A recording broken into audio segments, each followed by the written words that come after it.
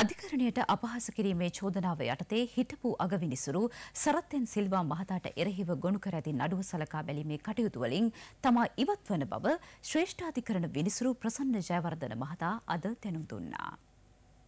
සරත් එන් සිල්වා මහතා දෙදහස් දහට දෙසැම්බර් තුන්වනදා මරදාන ප්‍රදේශයේ පැවති රැස්වීමකදී කළ ප්‍රකාශයක් මගින් අධිකරණයට අපහාස වී ඇති බැවින් ඔහුට එරෙහිව අධිකරණයට අපහාස කිරීමේ චෝදනා යටතේ නඩුවක් ගොනු කෙරුණා. ජ්‍යෙෂ්ඨ මහාචාර්ය චන්ද්‍රගුප්ත තේනුවර මහතා ඇතුළු මහාචාර්යවරුන් තුන්දෙනෙකු විසින් ගොනු කළ මෙම නඩුව ප්‍රසන්න ජයවර්ධන මෘදු ප්‍රනාන්දු හා ගාමිණී අමරසේකර යන ශ්‍රේෂ්ඨාධිකරණ විනිසුරු මඩුල්ල හමුවේ අද කැඳවුවා. පෙත්සම සලකා ලබන ජුනි විසි අටවනදා දක්වා කල්තවීමට අධිකරණය නියෝග කළා.